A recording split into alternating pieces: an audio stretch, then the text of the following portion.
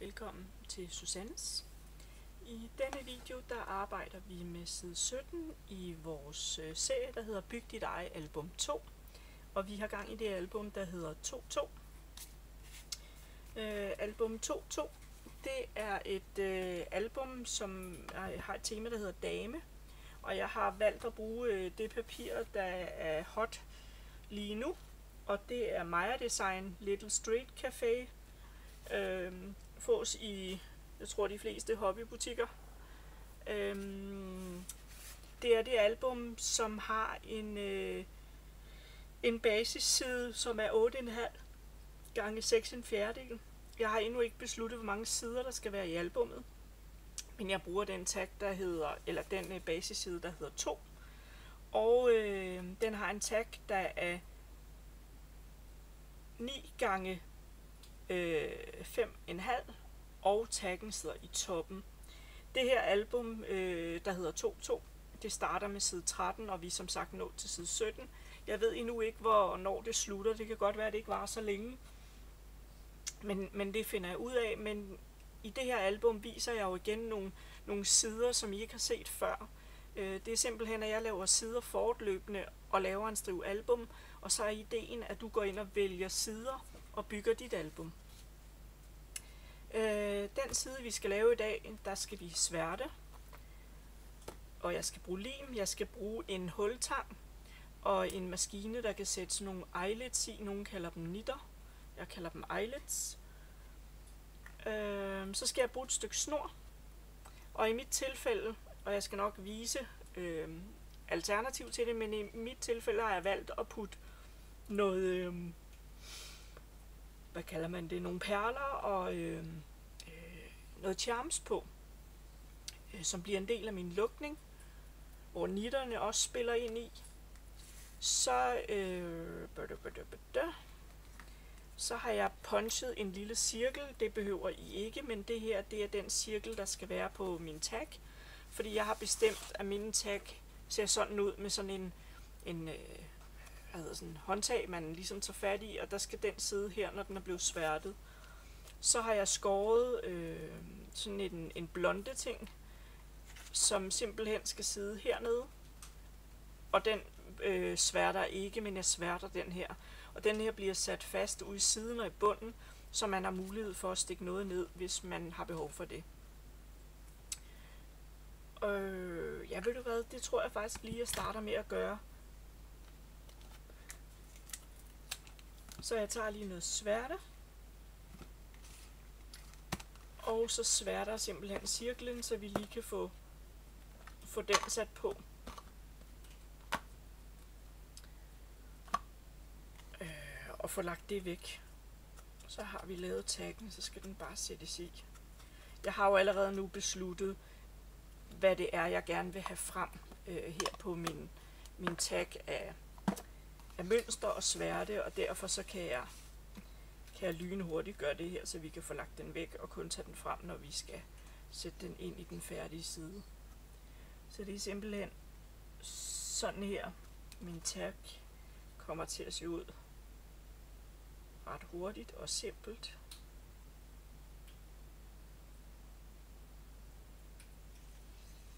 Lige mig lige øh, lidt op på blomsten, så den hænger fast ud siden. Og så sætter jeg den her på, og nogle gange så skal den lige trimmes lidt i bredden. Det er godt, at jeg har fået justeret min tag, så, så den ikke er nødvendig i den her omgang. Jeg skal lige skubbe den op, så den ikke strider ned under, fordi hvis jeg nu får en anden farve på den modsatte side, så er det lidt kedeligt, man kan se det. Men det her, det er simpelthen min tag til side 17. Sådan. Skal jeg bruge noget basiskarton? Jeg skal bruge en basisside 2, og det er den her. En basisside 2, det er den, som har åbning i denne her del, hvor at dem vi ellers lavede i album øh, 2.1, som gik til 1-12, der er åben hele vejen igennem. Der kunne vi lave sådan en tunnel, det kan vi ikke her.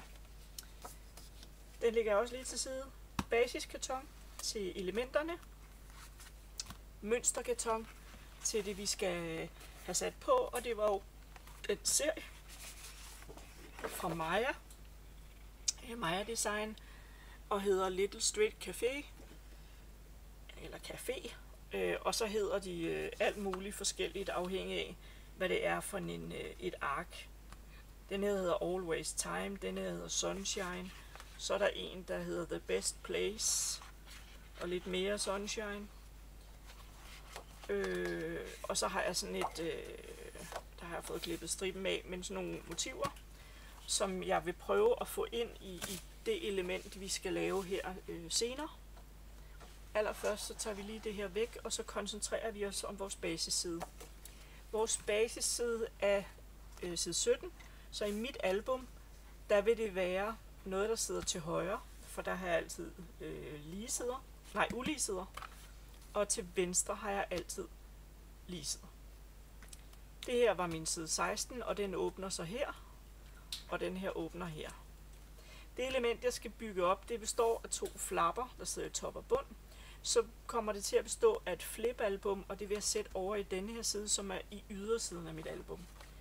Og det er jo helt op til dig, hvad, hvad du gerne vil. Så skal jeg spille op mod de farver, det er derfor, jeg har valgt det karton, som der lige har været på bordet. Men det første, jeg gør, det er, at jeg skal lige informere om, at jeg har lavet lidt om i mit skrabhjørne her. Så mit bord står anderledes, min computer står anderledes, så jeg har faktisk sværere ved at, øh, hvad skal vi sige, øh, navigere rundt med min mikrofon. Og jeg har ikke alt mit øh, arbejdsværktøj i nærheden. Så jeg skal grave noget op, indtil jeg kommer sådan helt på plads. Og nu kan I jo så rigtig få lov til at se min, min skæremaskine, Hvis I har set de andre videoer, så er jeg næsten altid skåret uden for billedet. Det gør vi ikke i denne her omgang. Jeg skal lige se, hvor stor en bredde jeg skal bruge. Der skal jeg faktisk ikke bruge så meget, så jeg behøver ikke klappe den der ud. Sådan. Så det jeg simpelthen gør nu, det er at skære de elementer, der skal bruges. Og vi skærer dem alle sammen på én gang. Så først, så skal jeg skåre min topflap og min bundflap. Og de skal have øh, et mål, der hedder bum, 4 3 fjerdedele. Og jeg skal bruge to.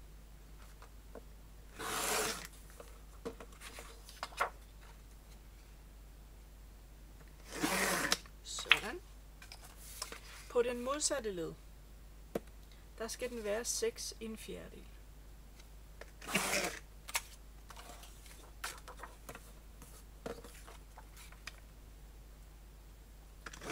Sådan. Det er mine flap-elementer, som skal sidde i toppen og i bunden, og de er jo større end siden, fordi de skal limes på, og de har samme bredde som siden. Måske lige en lille my for lidt i mit tilfælde, men det tænker jeg, det går nok sådan. Så skal jeg have mit flip-album. Det består af fem øh, flips, og de har et mål, der hedder 3 gange 4 3 fjerdedele. Denne her, den hed 6 en fjerdedel og 3 3 fjerdedel. Så nu laver jeg nogle, og det er jo sådan, at denne her, den er øh, lidt over 8. Så når jeg nu skal bruge et mål, der hedder 3 gange 3, nej, 3 gange 4 3 fjerdedele, så kan jeg ikke have 4 3 fjerdedele den vej, andet end så spilder jeg en masse karton, så der skal jeg have 2 gange 3. Så derfor så vender jeg den den her vej, og så skærer jeg 4 3 fjerdedele, lige så mange gange, som det kan lade sig gøre på et ark, og det var 2. Så vender jeg det op. Og så skulle jeg nu have 3.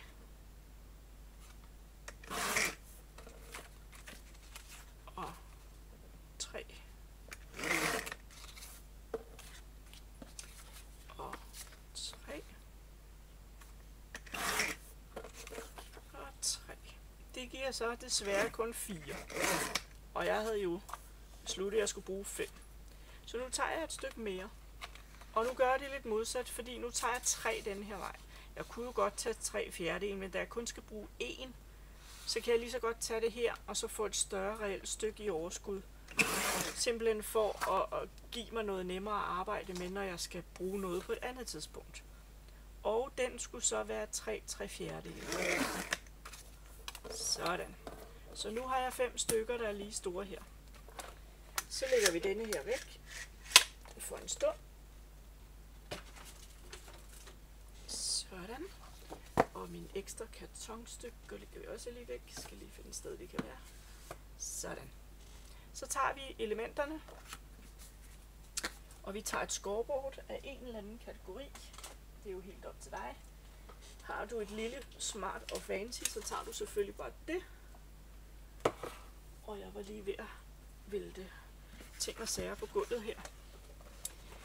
På de her, som er mine flapsider, der vender jeg dem på højkant.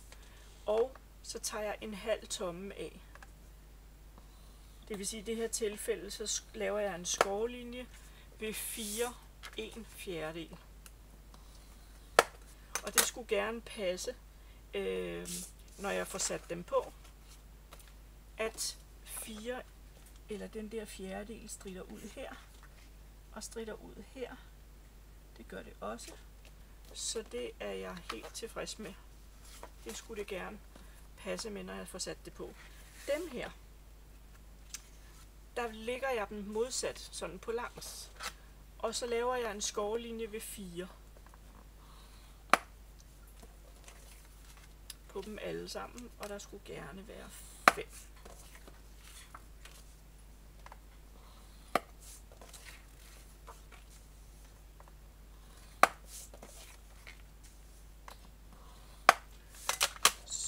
Sådan. Og så tager vi den væk. Det vi så gør nu, det er, at dem her, min top- og bundflap, dem vil jeg gerne have rundet hjørner på. Så jeg tager en hjørnerunder, og så jeg har falselinjen her, så i de modsatte hjørner runder jeg lige her.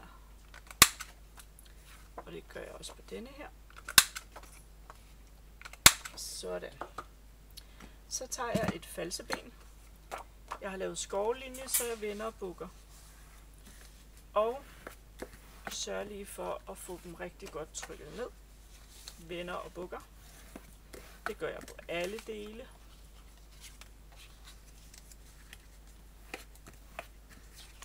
Og igen her.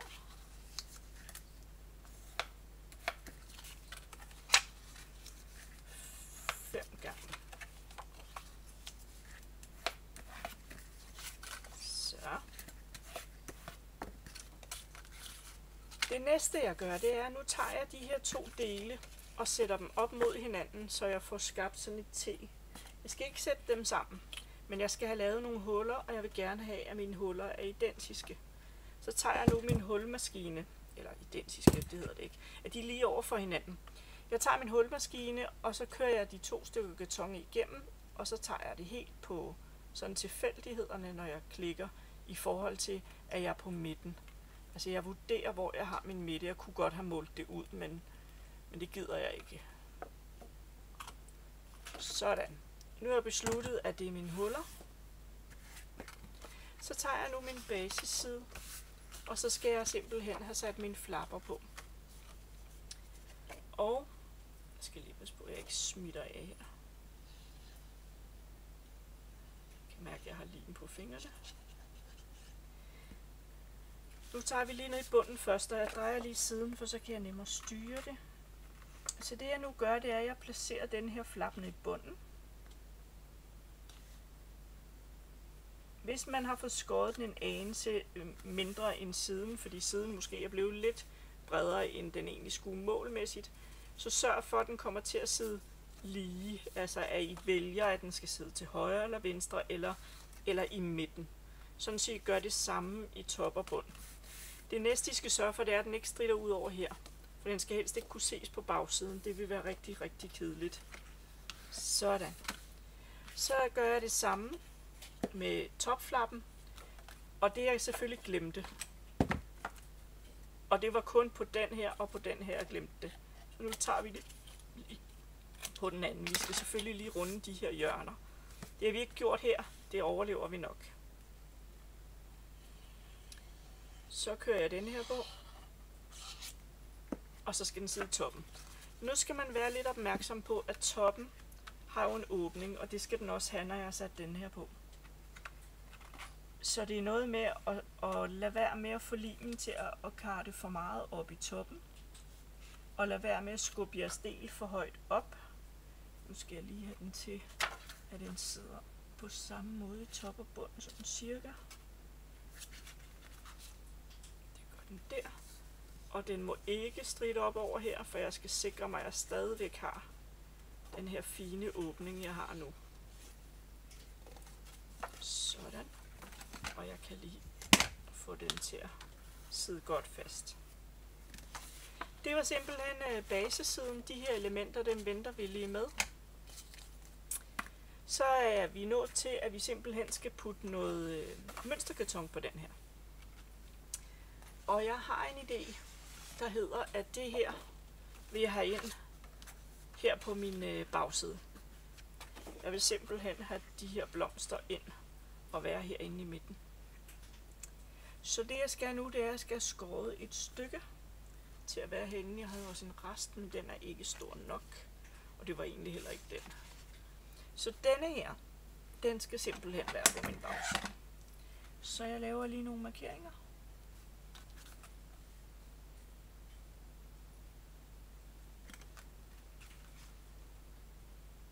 Jeg kunne så godt allerede nu også beslutte, hvad vil jeg så have øh, på de her sider, og hvad vil jeg have på forsiden.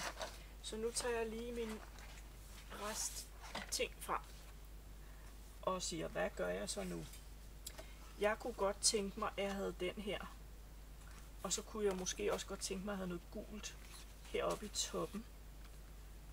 Og det er simpelthen fordi, og det kan jeg lige vise jer, den passer fint. Det er jo fordi, jeg godt vil holde den op imod denne her side. Så noget gult og noget blandet. Jeg kunne også have lavet to ens, men jeg tror simpelthen, jeg vælger at sige, at det her, det er mit mål. Og så skal den skæres der. Og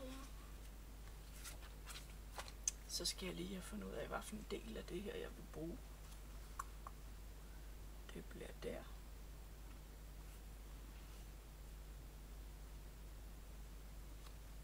Så tager jeg lige min bredde. Så godt jeg nu kunne. Og min højde, den har jeg faktisk her. For de er jo identiske. Så det her, det er faktisk min yderside. De her to dele. Så skal jeg også have noget til min inderside. Og det skulle spille op mod det der. Så jeg kunne gøre det samme. Jeg kunne godt bruge en gul og en rød indvendig, hvis jeg ville det. Jeg kunne også bare bruge to gule indvendige, hvis jeg ville det. Eller to røde indvendige. Jeg tror egentlig, at jeg vil sige, at jeg har gul her igen. Så jeg tror lige, at jeg tager sådan en gul mere og markerer i højden. Som er der. Og så skal jeg lige huske at skære den der kant af, synes jeg, fordi... Eller hvad? Jo, den tror jeg lige, jeg skal have skåret af. Så jeg vender lige den her om, så jeg husker det. Og så vil jeg gerne have en rød, så derfor tager jeg lige en, en rute mere. Og så skal jeg egentlig skære et stykke, der passer til det. Så det, det kan jeg måle op bagefter. Så har jeg faktisk i første omgang de elementer, jeg skal bruge. Så vi rykker lige her, og vi tager lige skæremaskinen op igen. Og så skærer jeg lige de her øh, pyntestykker af. Og det gør jeg simpelthen, fordi jeg synes, at de kan sagtens indgå i et dekorationselement på et eller andet tidspunkt. Så den vil jeg godt lige bevare. Og så har jeg den røde side der. Og denne her, den skal jeg lige skåret til bagefter. Jeg skal lige have skåret dem her, hvor jeg har sat nogle markeringer. Wow, et eller andet sted. Det var fordi, jeg skulle have den kant af, for jeg har markeret på bagsiden. Det var det, der gjorde det. Sådan. Den kan man også sagtens bruge et eller andet sted undervejs. Og så har jeg lavet en markering. Den er der. Så den tager jeg lige. Og siger, at den skal jeg så ikke bruge. Så havde jeg denne her. Den havde en markering der. Og så havde den simpelthen størrelsen. Den her skal så lige have højden. Det er der.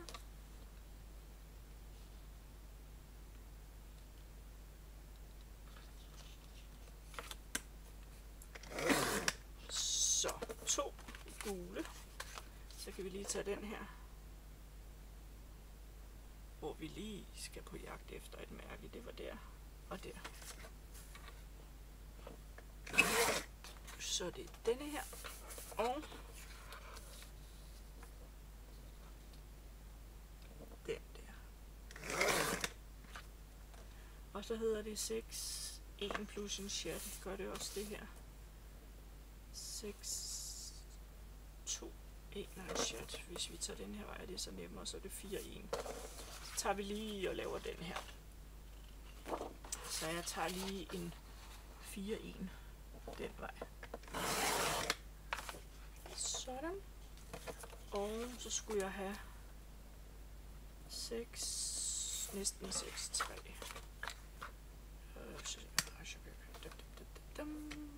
Ja. Sådan. Og så min bagside. Og den skal skæres der og der, så jeg vælger at tage den her først. Sådan. Og se, der skulle jeg også have taget den der fine kant af. Men det kommer den så nu af sig selv, når jeg skærer her. Så sidder den på det stykke, vi har der. Så. Så har vi en strive elementer, og vi har en basis. Og vi tjekker lige, at den passer. Gør den. Så tager vi sværteriet frem.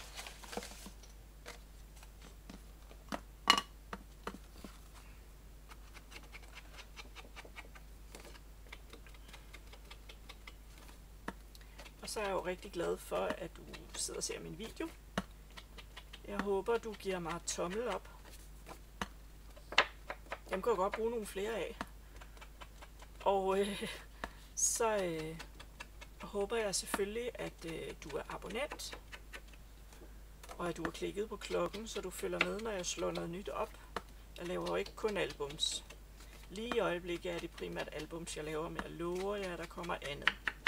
Kommer også noget med explosionsbokse på et tidspunkt. Øh, det jeg så gør nu, det er, nu sætter vi lige det her bagstykke på. Og jeg beslutter lige, hvilken vej jeg vil have mine blomster.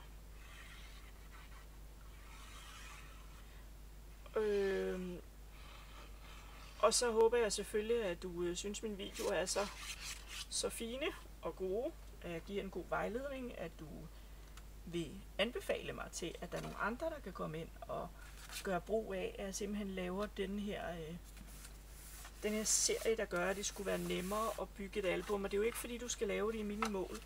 Du må hjertens gerne tilpasse det de mål, du har lyst til i dit album. Øh, det, der ligesom er min idé med det her, det er, at øh, dig, der synes, det kan være svært at, at lave et album øh, i de mål, du gerne vil have det, der har jeg nu lavet nogle standardmål, og så vil alle sider, jeg laver, de vil passe i det her album.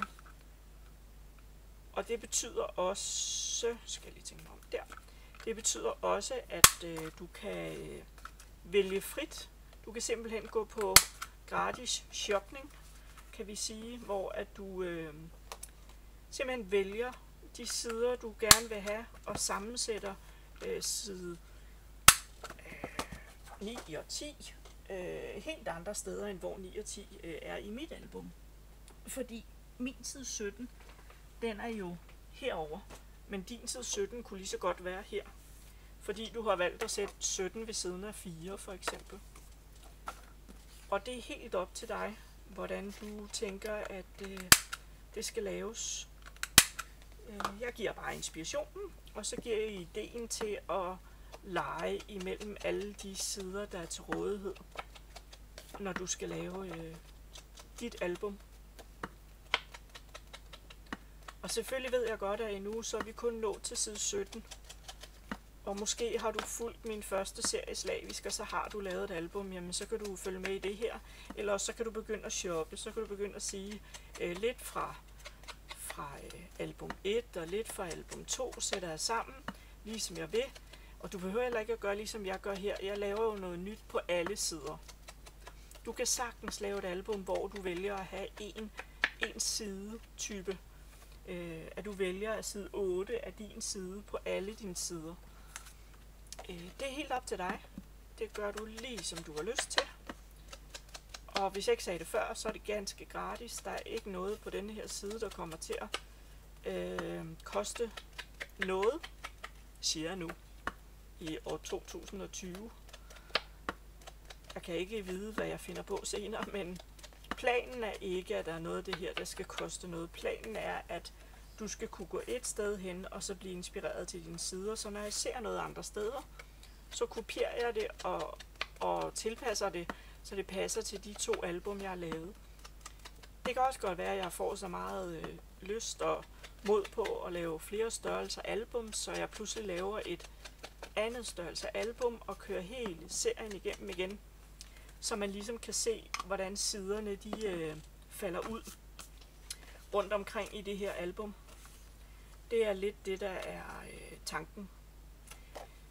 Nu jeg gør, gør jeg så det, at jeg øh, tager min forside og sætter på her.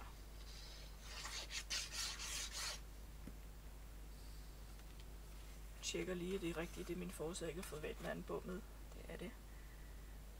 Forstået på den måde, at den her del vil jeg gerne have vendt ned. Så ville det være ærgerligt, hvis det nu var topflappen, jeg puttede det her på. Så lukker jeg lige her, og så tager vi den her side. Og det gør jeg simpelthen, fordi vi skal jo lige have genskabt de huller, jeg lavede før. Og det kan vi kun, så længe vi kun har limet en del på. På hver side. Så når jeg har sat denne her på, så tager jeg lige hulmaskinen, og så genskaber vi lige de huller, som der var. Og så sætter vi indersiden på, og så genskaber vi hullerne en gang til. Og der har man jo det tidligere øh, hul til vejledning. Man kunne så også nu nå at rykke hullet, hvis man synes hullet var, var placeret forkert. Nu er det så for sent. Nu skal hullet være her, fordi når jeg sætter den her på, hvis du rykker hullet næste gang, så vil det være synligt på, øh, på den ene af dine sider. Øh, I mit tilfælde vil det være synligt på min forside af min flap fordi jeg laver indersiden sidst.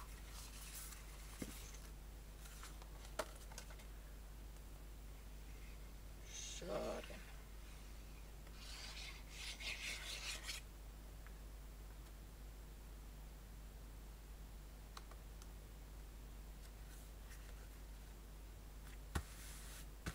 Så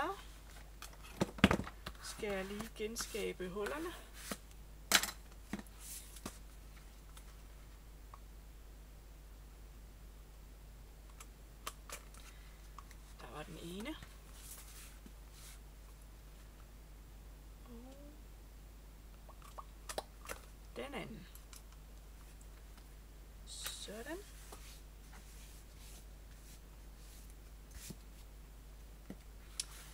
Det her, det er så simpelthen øh, den første del af siden. Så skal vi jo øh, have sat noget eyelids og sådan noget i, men det tror jeg faktisk, at jeg venter med til aller, aller sidst. Jeg tror, vi hopper herind, og så tager vi vores øh, lille flipper, vi skal lave herinde. Og jeg kan ikke helt huske, øh, hvad det er, jeg har regnet med, hvor den skal sidde, så jeg bliver nødt til at lige lave sådan en et hurtigt opmål. Jeg kunne selvfølgelig også måle mig til det, men nu laver vi bare sådan en hurtig, fordi jeg skal lige have en idé om, hvor langt fra kanten er jeg. Jeg tror, at jeg er så langt, som, som jeg har oppe i hovedet. Og det er det også godt. De her har jeg jo ikke rundet hjørner på, og jeg runder heller ikke hjørner her, og det gør jeg simpelthen ikke. Fordi det, som vi skal nu, det er, at vi skal have sat dem her på. Og så skal vi bagefter have lavet en øh, sådan lidt speciel forside, hvor vi udnytter det karton, vi sætter på. Altså det, det mønster papir, vi putter på. Jeg starter lige med at få den her placeret, hvor jeg gerne vil have den. Og jeg trækker den lidt herover i siden, for at få mest mulig plads her.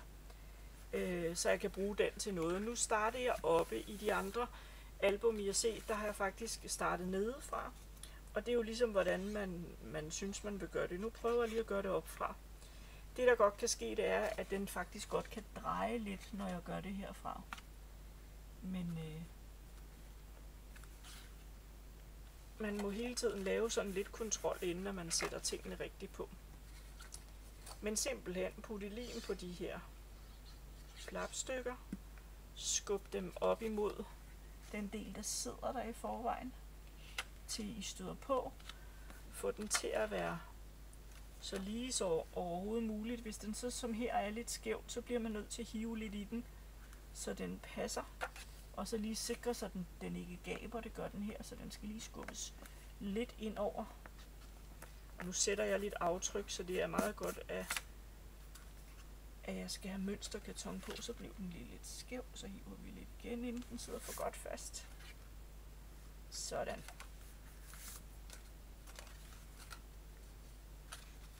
Og se, det svinger sådan lidt, men når den var hernede, så så det faktisk pænt ud. Så pyt med det svinger, når jeg vipper den opad. Nu skulle det så gerne blive ved med at være lige, og ellers skal jeg blive ved med at vride den. Og det tror jeg næsten, jeg skal. Så nu skal jeg passe lidt på, at det ikke går galt for mig her.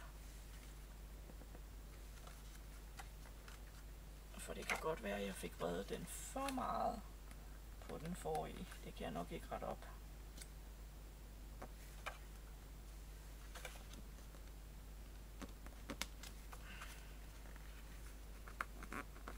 Den bliver der. Så tager vi den sidste.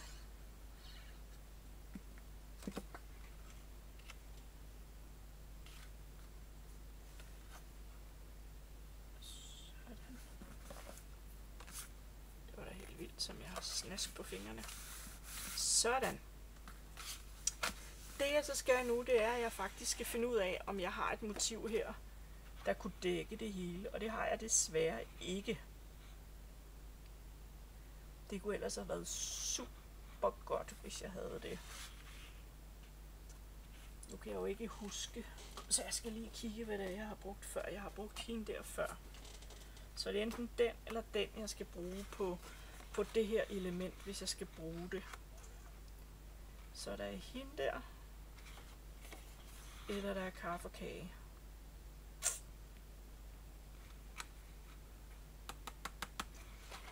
Jeg tror, vi tager...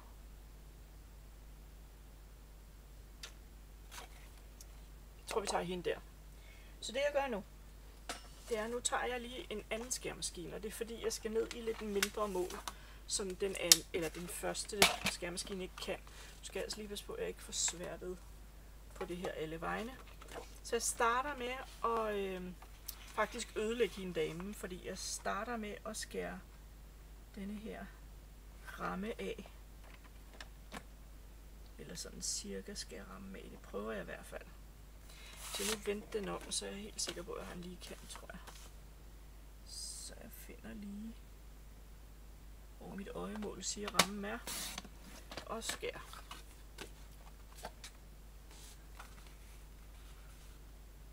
Ja. Og så tager vi også lige på den anden side, skal jeg ramme af.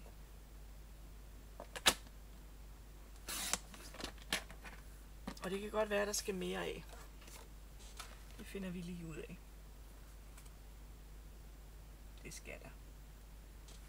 Og det bliver over i denne her side, at vi tager en squeeze mere. Nu tager jeg lige målet her. Hvis jeg tager den der.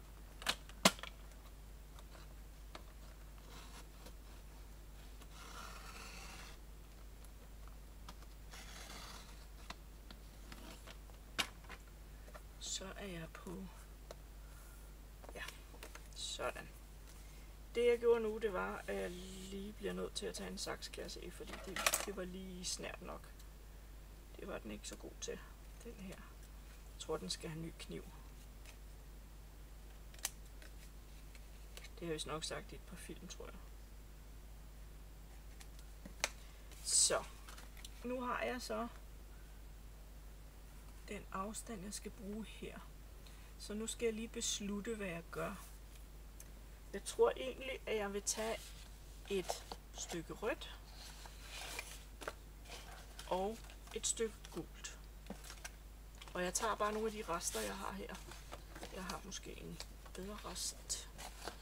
Der, vi kan også lige se, at vi har også den her med lidt mønster på.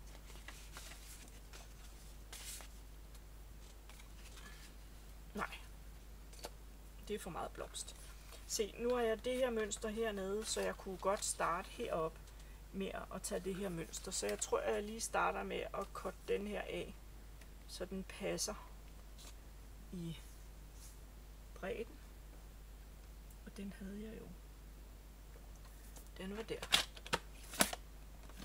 Ja. Skulle jeg også bare lige have fjernet mine rester, så var det måske blevet endnu bedre. Vi tager lige en reparationsting her. Så kan du komme op. Ups. Det er sådan, det skal man lige huske, når man skærer noget meget tyndt, og det sætter sig altså hernede i kanten. Og så skal man lige have det væk. Ellers så driller skærekniven endnu mere. Nå.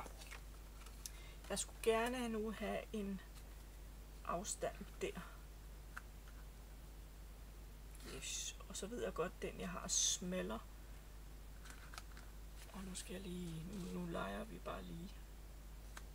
Så jeg er bare lige ved at finde ud af, hvad jeg gør her. Ej, jeg tror, jeg tager den her. Den skal herned. Så jeg skal også have bredden på den. Og den tager jeg altså bare i fri hånd. Med en saks. Sådan. Nu har jeg det her stykke. Og det skal ikke sidde der. Eller det vil sige, det skal det, men jeg skal lige trimme det lidt, hvis jeg overhovedet kan. 3, 3 fjerdedel og lidt tilbage.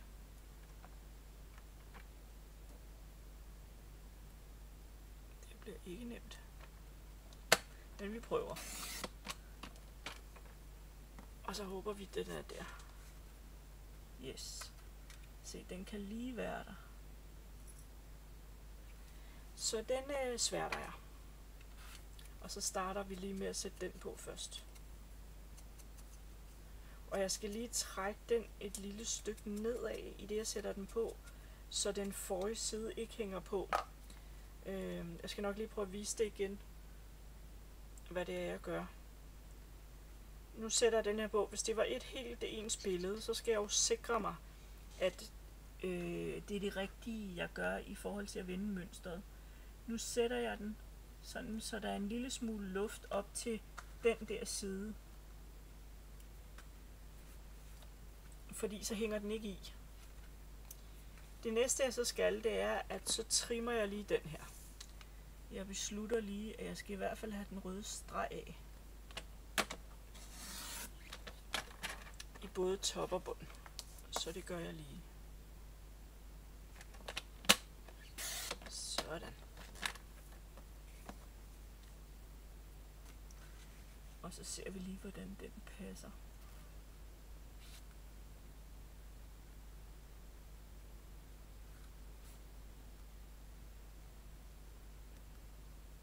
Ja. Det jeg så skal jeg nu, det er, at jeg skal skære nedefra. Så skal jeg skære det samme, som jeg gjorde før. Altså en lille snip af. Den tager jeg, og jeg sværter den. Og jeg husker, hvilken vej den skal vende. Og ellers så må jeg lige kontrollere med mit resterende motiv, hvis jeg er i tvivl så jeg ikke får sat den forkert på. Sådan. Så tager jeg flap nummer 2, og så gør jeg det samme med den her. Jeg placerer den, så der er en lille smule afstand ned til bunden, og en lille smule afstand til denne her side. Og det driller lidt, fordi jeg fik sat det lidt skævt i. Sådan. Så tager jeg igen og tager mit mål og skærer af og sværter. Så skal jeg lige have lidt hjælp her, fordi min mikrofonskabel er blevet lidt kort i denne her opstilling, så det var rigtig smart, synes jeg, men jeg bliver nok nødt til at revurdere, hvordan jeg har gjort her med min opsætning. Sådan.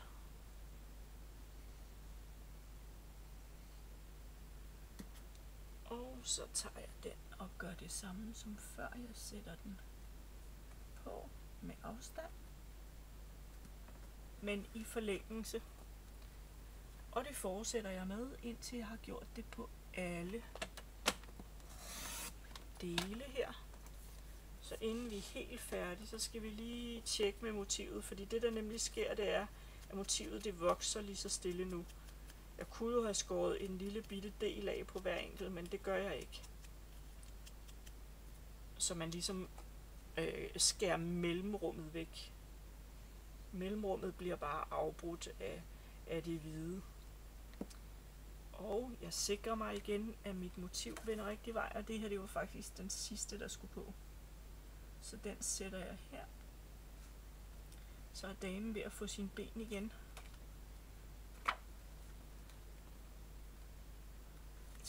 Sådan, der er lidt forskel på min, min hvide afstandsstykker.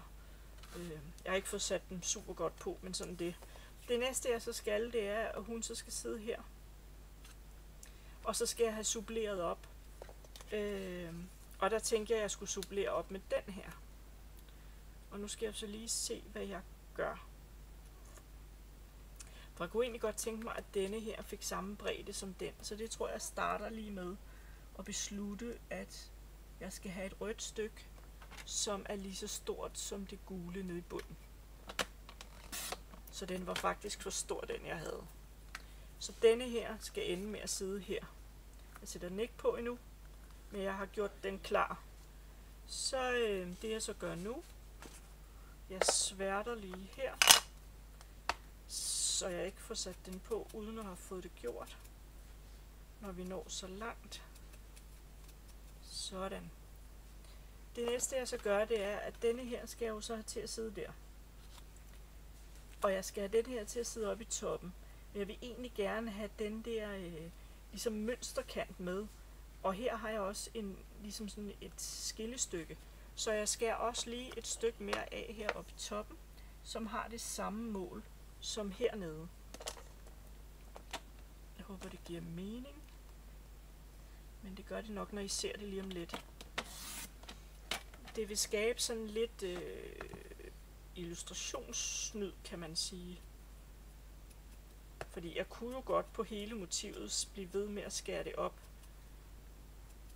Men det er ikke sådan helt meningen. Nu gør jeg det bare sådan, så den skal sidde der, den skal sidde her med de der lidt mellemrum.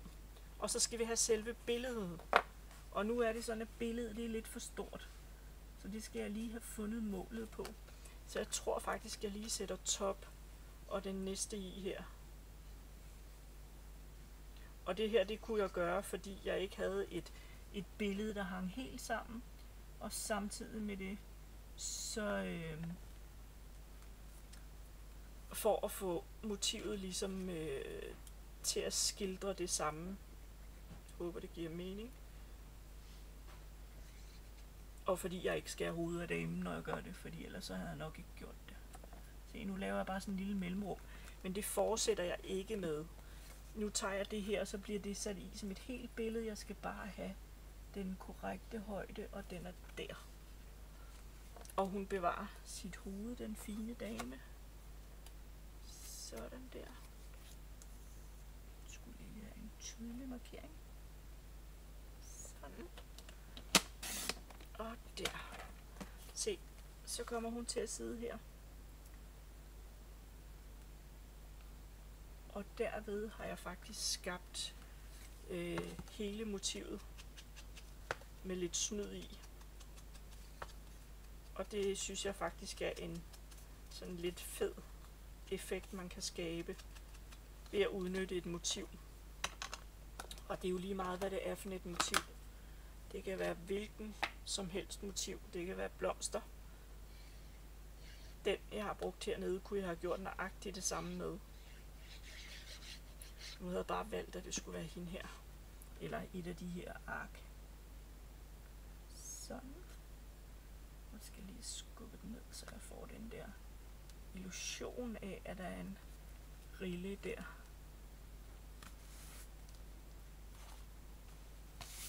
Så, kan I se? Her er der en illusion af en rille, det er der også lige her. Og så er der hernede, hvor at siderne gør, at jeg får de der riller. Men til gengæld så bevarer jeg hele mit billede som en helhed. Det synes jeg faktisk er ret sejt. Så er vi faktisk meget tæt på mål. Fordi det vi så skal nu, det er, at nu skal vi have lavet lukningen færdig. Og der havde jeg jo øh, gjort en lille smule klar. Og det var ved, at jeg havde lavet en snor. Og jeg havde sat lidt på, og vi skal sætte lidt mere på, inden jeg er færdig. Men allerførst, så skal jeg sætte min eyelids i. Og der bruger jeg jo en... Øh, hvad er det, den hedder? Den hedder... Øh, jeg kan aldrig huske det...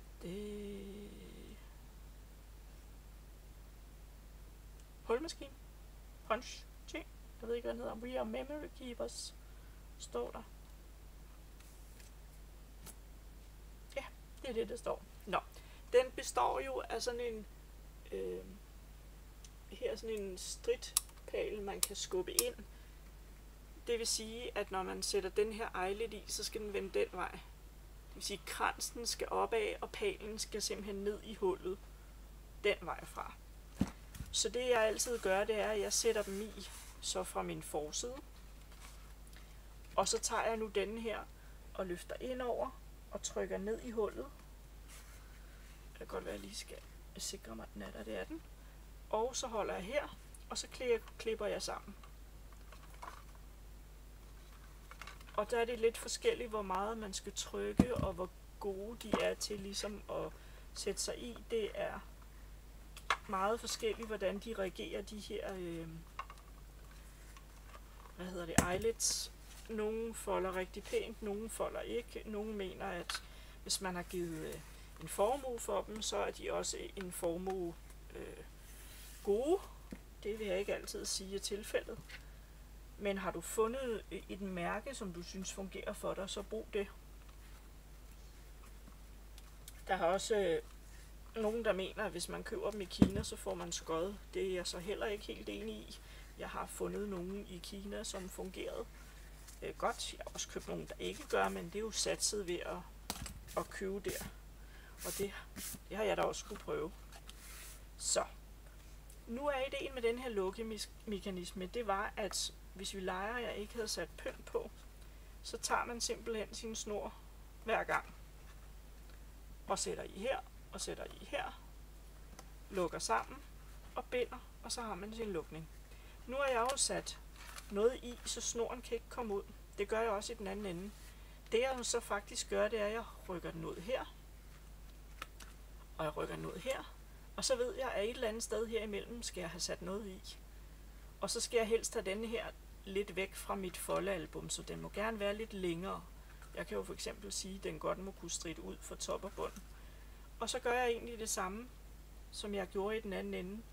Det er, at jeg putter øh, en perle på, en øh, charms på og en perle på, og så binder jeg en knude. Så øh, det gør jeg lige, og så håber jeg, at det denne her gang ikke driller mig, som da jeg startede. For der splittede snoren helt vildt. Og det begynder den på igen, kan jeg se. Så klipper vi lige et frisk stykke af. Og den sidste perle. Og så finder jeg lige længden igen. Bare sådan cirka. Det er mere, som man synes, det ser pænt ud. Og jeg skulle have lidt ekstra, fordi den skulle lige udenom. Jeg skulle være sikker på, at den kunne gå udenom. Og så binder jeg lige noget knudeværk. Hvad man nu kan finde ud af af knuder. Bare det er noget, der holder. så. Og så klipper jeg det overskydende af. Så nu har jeg simpelthen sådan en løsning her, som gør, at jeg nu ved hjælp af min snore kan lukke og binde mit album med det jeg nu har lyst til at gøre. I det her tilfælde, der har jeg lyst til at lave en sløjfe. Og så hænger mit tingeltangel jo bare der. Så har jeg min tag. Den skal sidde sådan her. Og den er gul, fordi at der også skal være noget tema gult i det her album. Sådan. Så kan vi lige tage et hurtigt view og sige, at den skal så ligge ved siden af den der, og det synes jeg er fint. Så det her, det var side 18, nej undskyld 17, i album øh, Byg dit eget album, serie 2, og album 2.2. Tommel op, bliv abonnent, klik på klokken, og så ses vi bare igen på et tidspunkt. Hej hej!